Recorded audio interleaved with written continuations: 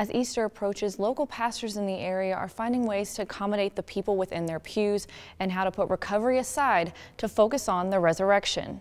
Family of God Baptist Church and Macedonia Missionary Baptist Church, both still feeling the impact of Hurricane Michael. The damage is massive, and it looks like that uh, the building may have to come down to the ground. So the damage there is at least half a million dollars minimum. As the biggest religious weekend of the year approaches, the two senior pastors will be hosting a larger amount of guests, Wood's main sanctuary being destroyed, pushing his congregation to a smaller building on campus. The uh, biggest problem on Sunday is uh, just finding enough space in this facility uh, to make people comfortable for worship.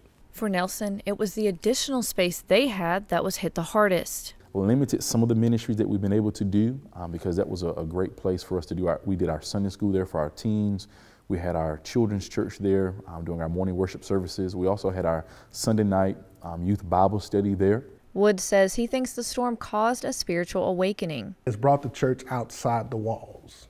Uh, it, it caused the people to realize that church is not about the building, but it's about people. Both pastors seeing an opportunity to bring encouragement to those who may not normally lend an ear.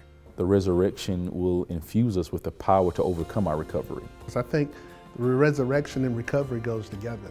You know, the resurrection deals with man's recovery uh, with God and God bringing them uh, man back to Him. And I think this is uh, is going to go hand to hand together, even in the message on Sunday. You know, we can recover uh, because we have hope in Christ Jesus. And just like He brought us together uh, back with the Father, He's going to put us back together in this community. Kayla Tucker, News 13, Panhandle Strong.